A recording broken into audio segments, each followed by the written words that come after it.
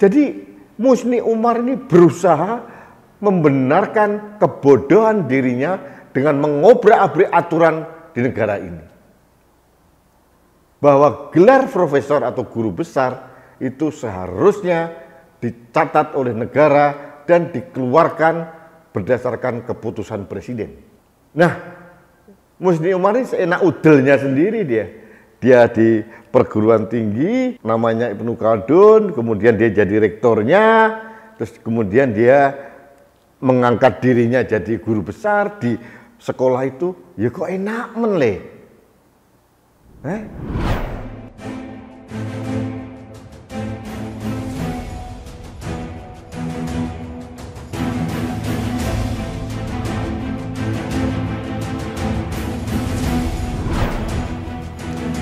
Halo sahabat Indonesia, kita bertemu lagi dalam Opini Rudi. Kali ini saya ingin mengajak Anda untuk tertawa sejenak terkait dengan dagelan atau drama yang dimainkan oleh seorang guru besar dalam tanda kutip yang bernama Musni Umar. Saya kadang-kadang berpikir ya, memang semesta itu tidak tidur.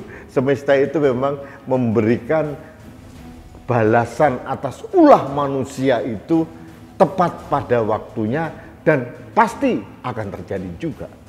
Nah, Musni Umar, Rektor Universitas Ibnu Khaldun Jakarta. Orang yang memposisikan dirinya sebagai baser utama dari Anies Baswedan. Apa pun yang dilakukan oleh Gubernur Anies Baswedan dianggap benar adanya. Jadi inilah Musni Umar.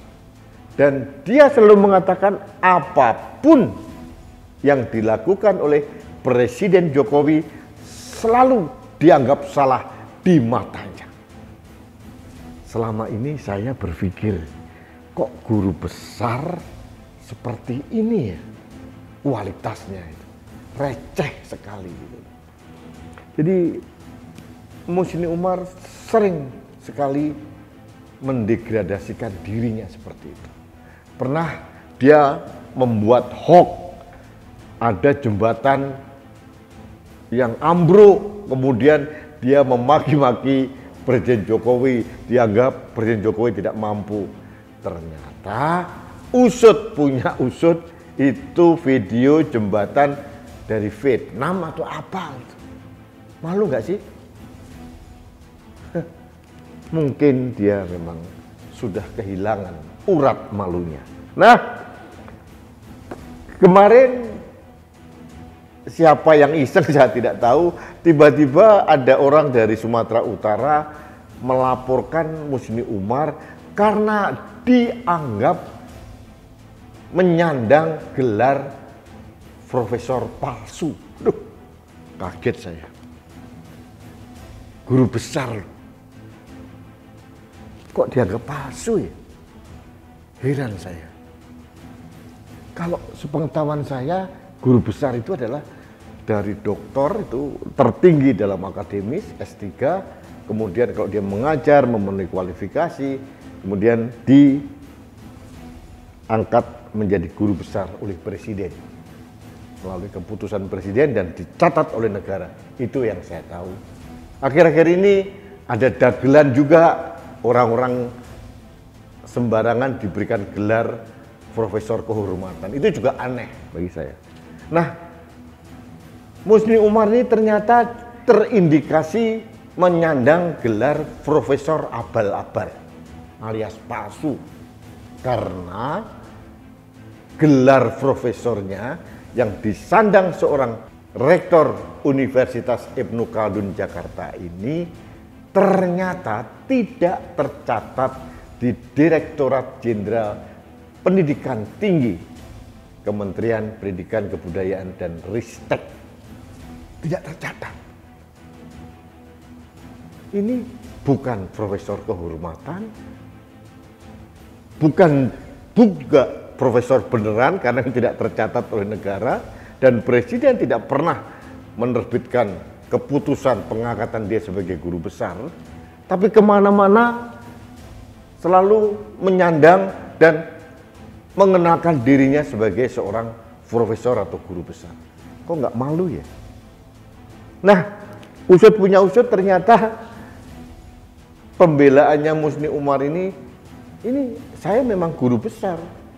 Yang ngasih adalah perguruan tinggi, di mana dia jadi rektornya, di Ibnu Khaldun, dan konon juga dari Asia University di Malaysia. Saya juga baru dengar ada Asia University di Malaysia. Itu universitas kualifikasinya apa saya tidak tahu.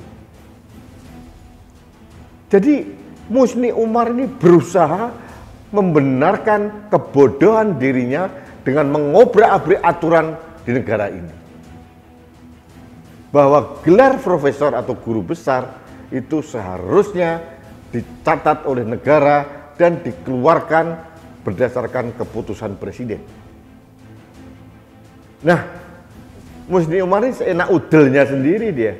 Dia di perguruan tinggi, namanya Ibnu Khaldun, kemudian dia jadi rektornya, terus kemudian dia mengangkat dirinya jadi guru besar di sekolah itu, ya kok enak menle. Eh? Sahabat Indonesia, sebetulnya saya tidak terlalu penting sih orang itu profesor atau apa ya, karena profesor ini kan bukan gelar akademis ya. Profesor ini kan gelar bagi seorang maha guru atau guru besar. Gitu. Gelar akademis tertinggi itu adalah seorang doktor.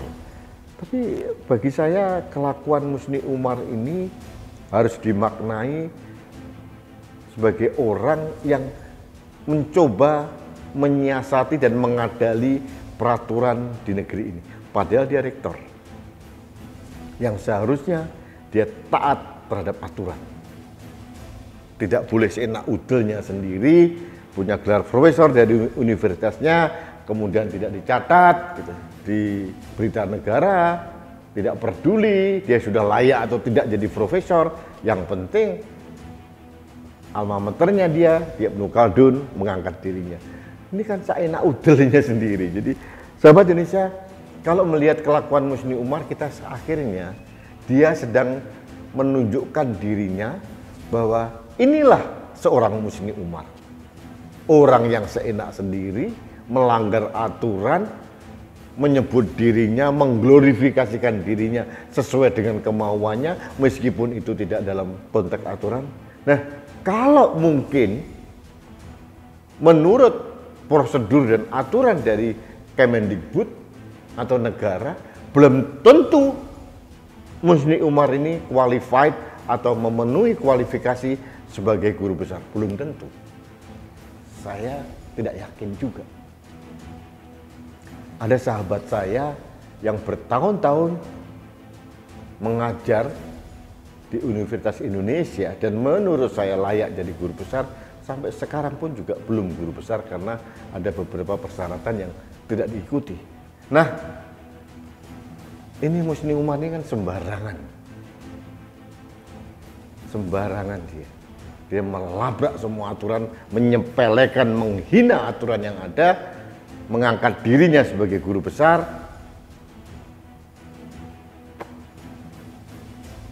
Ini yang terjadi. Sahabat Indonesia, mungkin ini akan dihentikan oleh polisi atau apa pelaporannya juga terlalu lemah. Karena ini bukan masalah pidana atau apa, tapi lepas dari ini bukan pidana atau perdata atau apa pun, tapi Musni Umar telah kehilangan legitimasi atau marwah dan kehormatannya karena terbukti dia memasukkan gelar guru besarnya. Guru besar yang benar, yang sejati itu adalah guru besar yang diangkat melalui keputusan presiden dan tercatat di Kementerian Pendidikan dan Kebudayaan serta Ristek. Di luar itu anggap saja profesor abal-abal. Lah, Wong Rocky Gerung aja juga dianggap profesor Padahal cuma S1 atau apa. Tapi itulah mereka.